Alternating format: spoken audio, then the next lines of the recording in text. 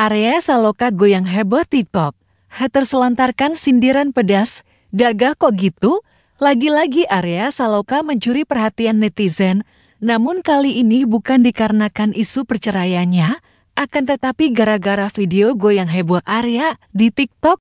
Dalam video viral yang beredar, suami putri aneh itu sedang asyik bergoyang ditemani seorang teman Penampilan Arya tampak gagah berkemeja warna putih yang dipadu-padankan dengan celana hijau.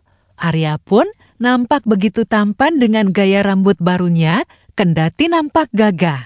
Jogetan Arya justru tampak gemulai. Arya pun menikmati alunan musik dengan cermat. Sesekali Arya tak sungkan menggoyangkan pinggulnya di depan kamera. Aksi Arya ini pun ramai komentar netizen. Sebagian netizen merasa gemas dengan aksi Arya, namun tidak demikian dengan haters. Haters malah memberikan cibiran dan komentar pedas. Melihat penampilan Arya, banyak haters yang menyinggung masa lalunya sebagai pemain FTV. Seperti diketahui, pria kelahiran 27 Juni tahun 1991 ini sebelumnya memang kerap mendapat peran minor seperti menjadi Hansip, Udah hilang pesonanya semenjak isu selingkuh. Cakepan dulu waktu masih SM istri sahnya, komentar netizen, mau gaya apa pun. Aura Hansip seragam ijo gak bisa bohong, balas akun lain, sepaling Hansip, sindir warganet lain.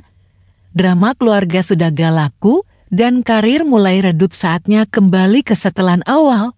Sahot neter lah ia beringat, dia ada sinetron jadi Hansip, kayak beda ong yang tertimpal akun lain.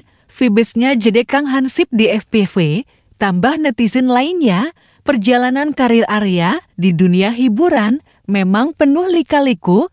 Arya memulai karirnya sebagai pemeran figuran dengan honor sebesar Rp75.000 Saya lulus kuliah. Ia mengikuti kelas teater untuk mengasah kemampuan aktingnya.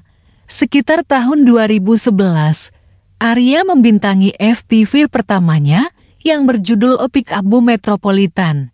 Nama Arya makin melejit usai membintangi Ikatan Cinta bersama Amanda Manopo berkat chemistry yang kuat. Arya dan Manda kerap dijodohkan fans, padahal Arya sendiri diketahui masih berstatus sebagai suami Saputri Anna.